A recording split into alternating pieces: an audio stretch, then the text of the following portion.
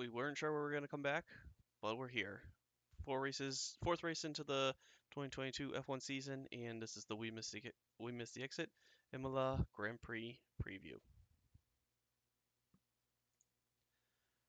Go quick over the Australian Grand Prix results. Uh, Leclerc 1, Perez 2, Russell 3, Hamilton 4, Norris 5, Ricciardo 6, Ocon 7, Bottas 8, Gasly 9, and Albon 10.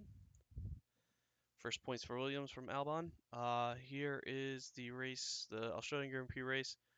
Uh, obviously, this picture's a little off because um, there was more uh, different setup, but uh, let's just get keep going here. Uh, driver standing so far: uh, Leclerc leading the pack, number one, 78 points. His teammate right behind him, Sainz, um, also in the Ferrari with 38. Russell with 37, Perez with 36, Verstappen with 33. Uh, Lewis Hamilton does not have 92. Uh, Norris with 20. Ocon with also 20. Bottas with 14. Magnussen with 13. Ricciardo with 11. Gasly with 6. Tsunoda with 4. Alonso with 2.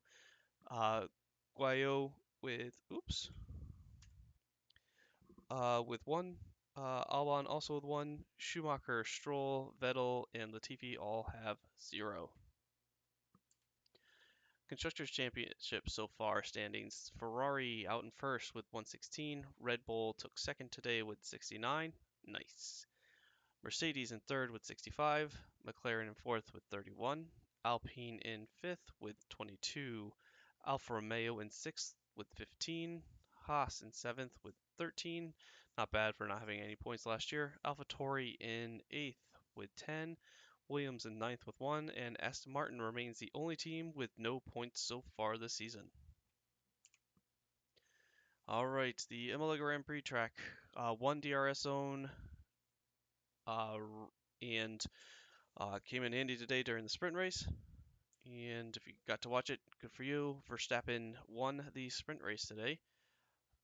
Don't know why everything keeps disappearing. Verstappen won the um, sprint again uh, after starting on pole, losing it right away to Leclerc, and you know came back at the last on the second to last lap to uh, claim first place, get some points. Um, Verstappen, I saw today, has won every race he's finished so far this season. Let's see if he can keep that going tomorrow. A little bit of a preview there.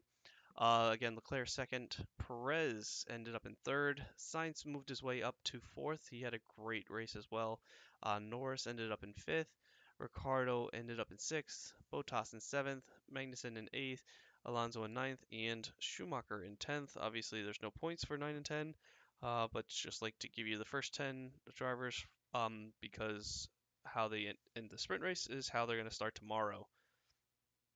So again, Verstappen is going to start P1, Leclerc is going to start P2.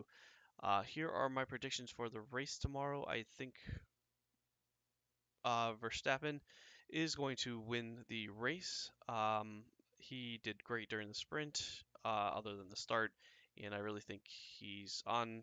He's really feeling it this weekend if his car holds up, which uh, hopefully it does.